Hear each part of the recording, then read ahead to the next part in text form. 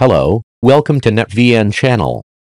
In this video I show how to install Windows 11 on RAM.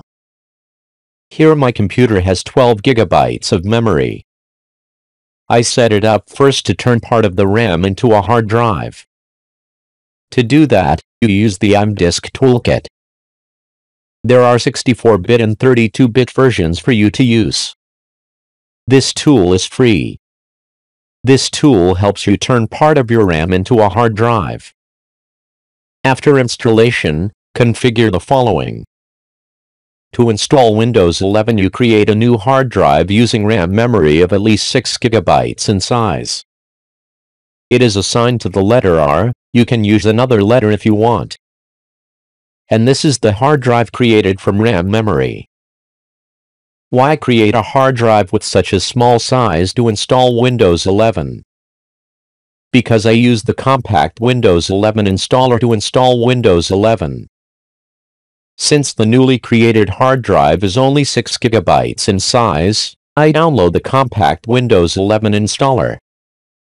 I put the Windows 11 installer download link in the description so that you don't have to wait I have downloaded the Windows 11 ISO compact file. To install Windows 11 on RAM you use a hypervisor like Hyper-V, VirtualBox. In this case I use VMware to create a Windows 11 virtual machine. On VMware you create a new virtual machine. This virtual machine uses the downloaded compact Windows 11 installer. This virtual machine is stored on the hard drive created from the RAM that was created in the previous step.